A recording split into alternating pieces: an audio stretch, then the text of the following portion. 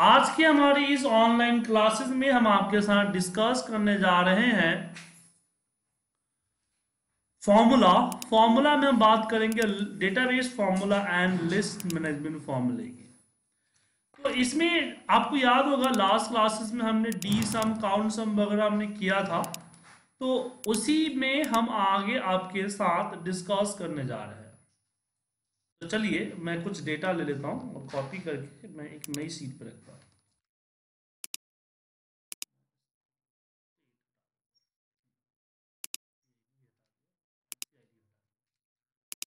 तो जैसे कि मुझे अगर मान लीजिए कि ऑनलाइन का सेल चाहिए तो ऑनलाइन का सेल चाहिए तो आप इसके लिए सॉरी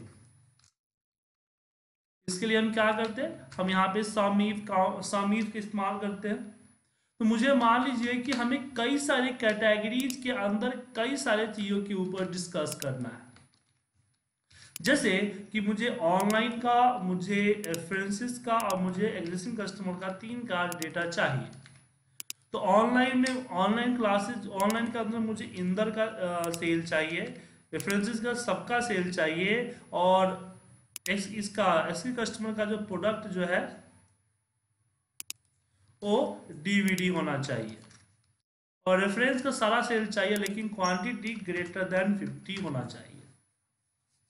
अब इस पे मुझे अगर सम इफ़ सम इफ़ तो होगा नहीं सम इफ्स यूज़ करना होगा तो मुझे तीन या तीन या चार या दस हो तो उनको अलग अलग यहाँ करना पड़ेगा। तो मैं चाहता हूँ कि इनकी जो ये है कंडीशन है, इसके बिहाब पे मुझे इसका टोटल आ जाए। तो हम टोटल को बाद में देखेंगे, उससे पहले हम बात करते हैं किसके बारे में? इसी कस्टम डेटा मेनू बार में हमारे पास होता है एडवांस फ़िल्टर के बारे में। तो एडवांस फ़िल्टर का काम यही होता है कि आप यहाँ क्राइटेरिया को सेलेक्ट करें, इस क्राइटेरिया के बिहार पे आपको डेटा फ़िल्टर कर देगा। अब मुझे इन सबों का टोटल निकालना है डी सम से। तो एडवांस फ़िल्टर जैसे यूज़ वर्क करता है, ऐसा ही वर्क आपका डी सम का फॉर्मूला करता है। डी सम डी सम या फिर जो भी डेटाबेस लिस्ट में के फॉर्मूले हैं, वो लगाने का तरीका एक ही है सबका, कि पहले आप डेटाबेस को सिलेक्ट करें, फिर जिस फ़ील्ड का टोटल चाहिए उस फ़ील्ड को सिलेक्ट करें, और फिर अपनी क्राइटेरिया रेंज को सिलेक्ट करें। जब आप क्राइटेरिया रेंज देंगे तो ध्यान रहे कि ऊपर हेडिंग आना चाहिए। ठीक है सर? रजनीकांत जी विकास चौहान जी समझ में आया? जी सर। जी ये आपके सामने डेटा आ गया। डी सम का। ऐसे मुझे यहाँ पे अगर डी काउंट चाहिए तो डी काउंट मतलब कि नंबर काउंट करना है, लगाने का तरीका सेम है, लगा लीजिए। फ़ील्ड फ़ील्ड कौन सा है? तो मुझे काउंट करना है क्वांटिटी का। क्राइटेरिया क्या है? तो क्राइटेरिया ये रहा। ऐसे आपको डी काउंट काउंट ए चाहिए। तो डी काउंट ए डेटाबेस को सिलेक्ट कर लीजिए। सिलेक्ट कीजिए, इसका काउंट मुझे नेम को काउंट करना है। उसके बाद इसे आपका एवरेज चाहिए तो डी एवरेज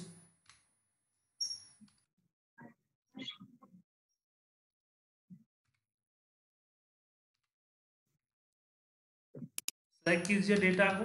तो लगाने का तरीका हर फॉर्मूला का एक ही है। बस रिज़ल्ट अलग अलग होता है। D average A D max D mean तरीका हमने और किसका मैक्स चाहिए? क्वांटिटी का। क्राइटेरिया हमने सेलेक्ट कर लिया। यहाँ आपके सामने सेवेंटी फाइव दिख रहा है। ठीक है? तो आप यहाँ एफ़ पे क्लिक करेंगे तो आपको यहाँ दिख जाएगा।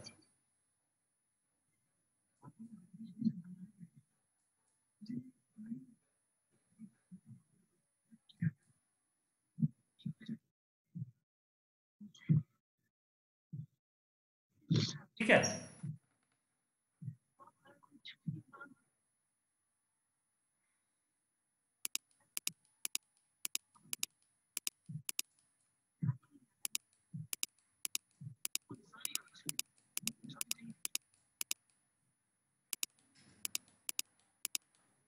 तो यहाँ पे आप सेलेक्ट कीजिए अपना डेटाबेस फॉर्मूला आपका डी एवरेज है डी काउंट है डी काउंट ए है डी मैक्स है डी मीन है। तो मिनिमम निकालता है मैक्सिमम काउंट काउंट निकालेगा ऑल काउंट नंबर एवरेज निकालता है डी प्रोडक्ट मल्टीप्लाई करता है स्टैंडर्ड डिविएशन निकालता है डी सम करता है वेरिएंस निकालता है। इसमें आपका एक डी गेट का फॉर्मूला तो डी गेट का फॉर्मूला मल्टीपल कंडीशन को मैच करने के लिए होता है। जैसे मुझे ऑनलाइन कोर्स कविता और रैम का सेल चाहिए। इसका मुझे क्वांटिटी चाहिए। यहाँ पे मैं फॉर्मूला लगाऊँगा डी गेट का। डी गेट सिलेक्ट करूँगा अपने डेटा को कॉमा नहीं सॉरी माफ़ कीजिएगा। डी गेट का फॉर्मूला और पूरा का पूरा सिलेक्ट करूँगा डेटा को। कौन सा वैल्यू लेना है? हमें लेना है क्वांटिटी और क्राइटेरिया क्या है? तो हमने ले लिया। ऐसे मुझे, मान लीजिए मुझे ऑनलाइन के अंदर, कविता के अंदर यहाँ पे चीज़ करता हूँ। ऑनलाइन कविता में मुझे प्रोडक्ट डब्ल्यू आर टी है। तो मैं जैसे यहाँ पे डब्ल्यू आर टी लिखूँगा, हमारा रिज़ल्ट चेंज हो जाएगा।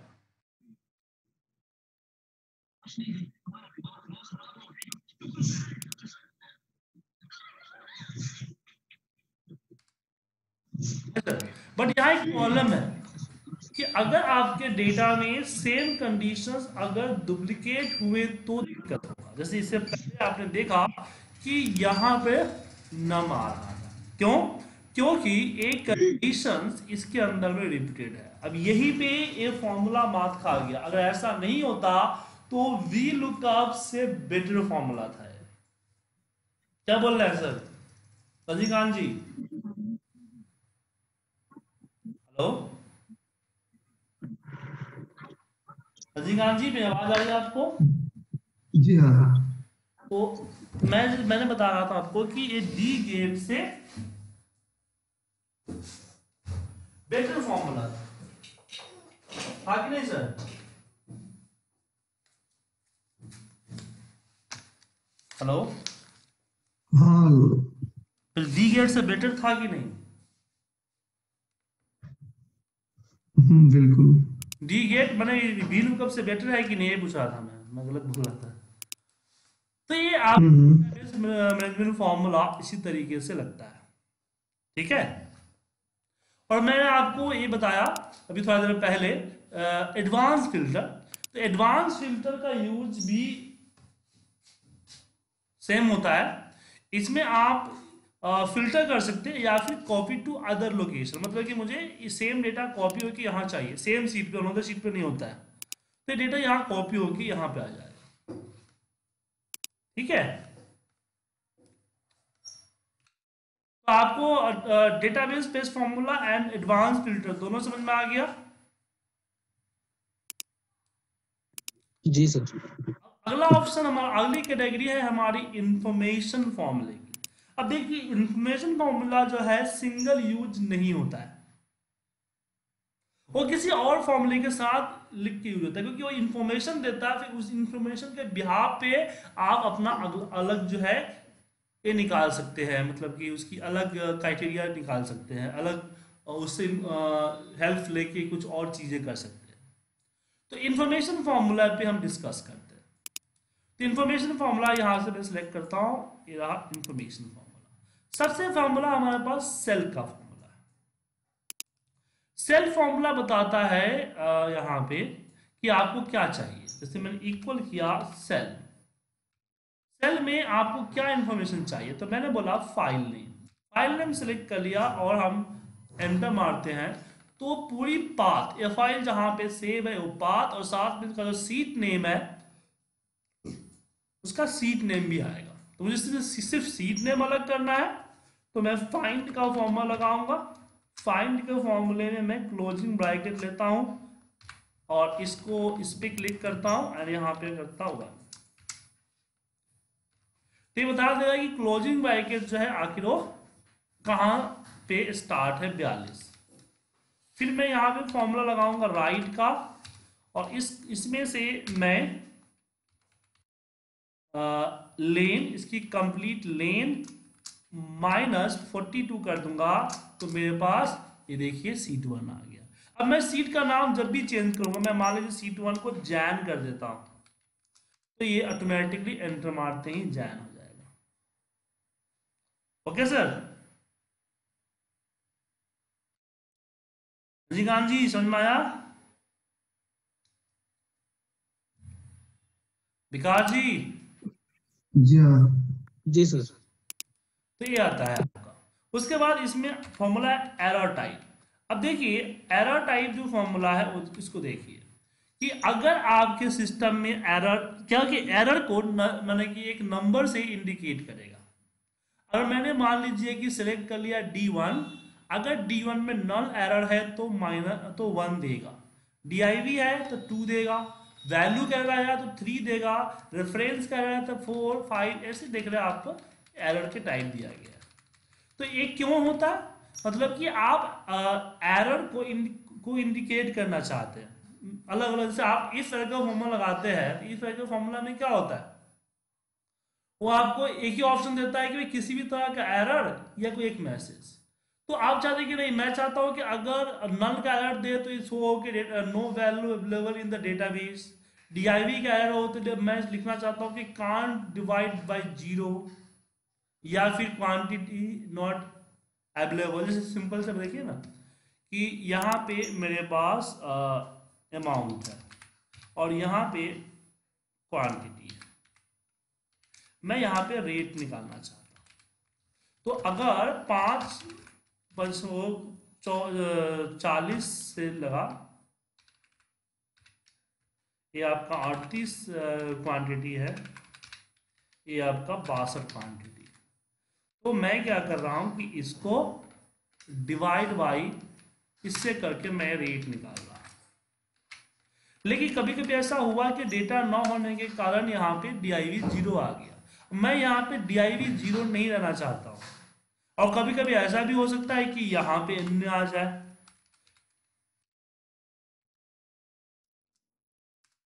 एन आ गया। तो अगर मैं इसमें इफ़ एरर दूँगा तो कोई एक ही मैसेज दे सकता ना? मैं चाहता हूँ कि एन करना चाहता एन ए अगर हो तो मैं देखना चाहता हूँ कि भाई फॉर्मूला गेट एरर चाहे फॉर्मूला गेट हाँ फॉर्मूला गेट एरर डीआईवी हो तो क्वान्टिटी नॉट अवेलेबल तो इस केस में मैं सबसे पहले यहाँ इसको एरर टाइप के अंदर एरर टाइप के अंदर रखूँगा। तो मुझे इसमें इसे एरर का नंबर मिल जाएगा। तो सेवन मिला मतलब कि एन ए टू मिला मतलब कि डी आई पी और इसमें इफ़ का फॉर्मा लगाऊँगा कि if at this is equal to two तो क्वांटिटी नॉट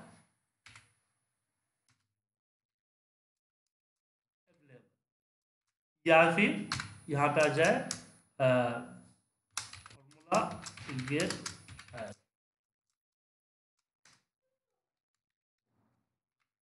समझ गया? तो इस तरह की चीज़ें हम यहाँ कर सकते हैं। ओके तो ये हमारा एरर टाइप का फॉर्मूला है। अब जान लीजिए कि एरर कब कब आता है?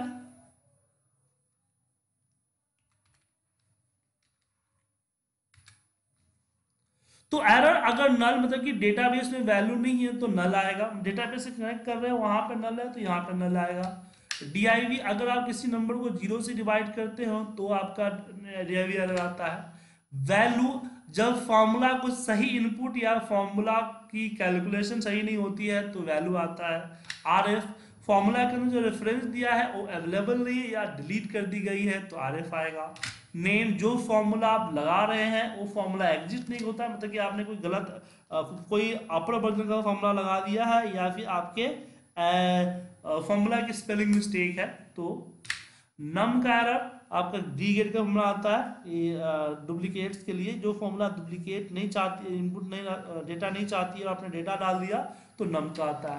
एन ने किसी भी लुका फॉर्मूला का जो डेटा अगर एग्जिस्ट नहीं करता है तो एन ने आता है। गेटिंग डेटा एरर आपने किसी डेटाबेस या वेब वर्जन वेब एप्लीकेशन से कनेक्ट किया है, वहाँ पे दिक्कत हो गई है तो एरर आएगा। तो आठ तक एरर आते थे और नौवा दसवा एरर जो है, ये आपका टू थाउज़ेंड नाइनटीन में है, जैसे कि आपका स्पिल का एरर है। तो ये आपका जो स्पिल आइडेंटिफाइड नंबर जो होता है, वो आइडेंटिफाई ना कर पाया। और नॉन कुछ समझ में नहीं आया इसको तो फिल्ड आप जो फ़ील्ड के साथ आपने सी एसक्यूएल वगैरह के साथ कनेक्ट किया है फ़ील्ड को अगर फ़ील्ड अवेलेबल ही नहीं है तो। कैलकुलेशन में प्रॉब्लम हो रही है तो यहाँ आएगा। जब मैथमेटिक्स वगैरह की उसमें प्रॉब्लम हुआ तो कैलसी कह रहा आएगा सबका नंबर से आइडेंटिफाई कर सकते हैं। उसके बाद आगे बढ़ते हैं। इसमें कुछ फॉर्मूले हैं। एक फॉर्मूला आपका इन्फो का है।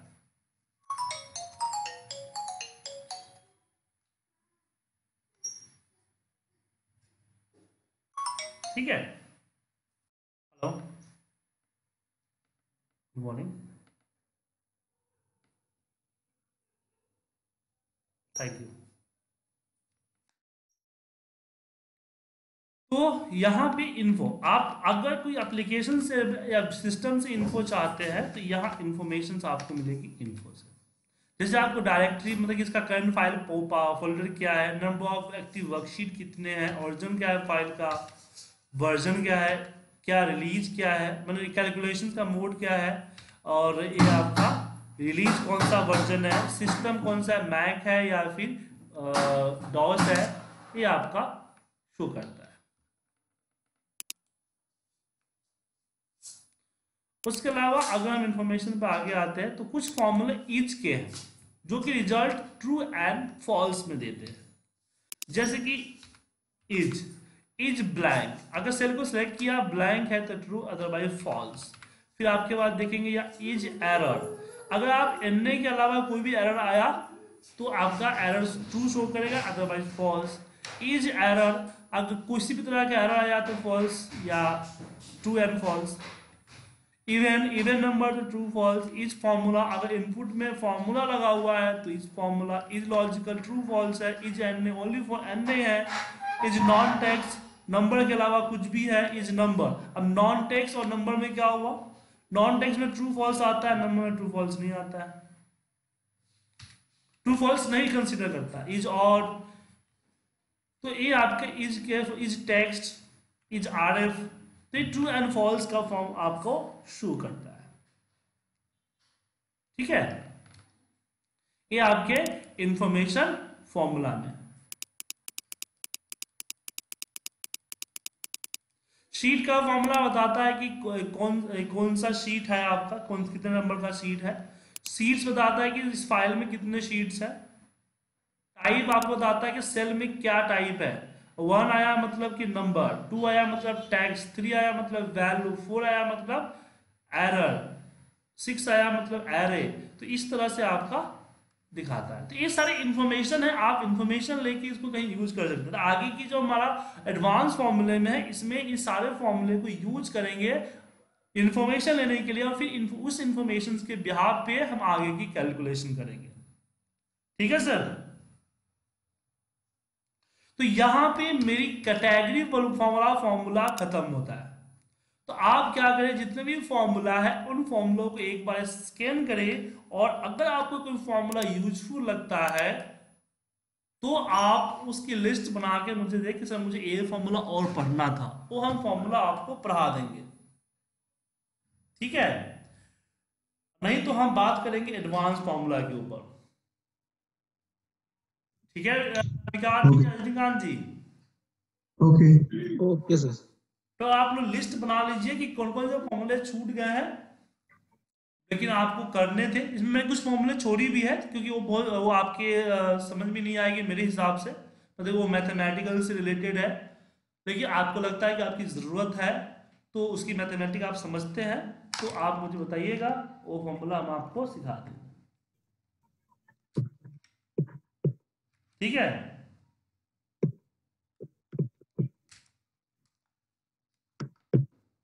कोई डाउट या क्वेश्चन है आप लोगों के पास? प्लीज़ कोई डाउट क्वेश्चन है? जी नहीं। ठीक है चलिए मिलते हैं कल की क्लासेस में।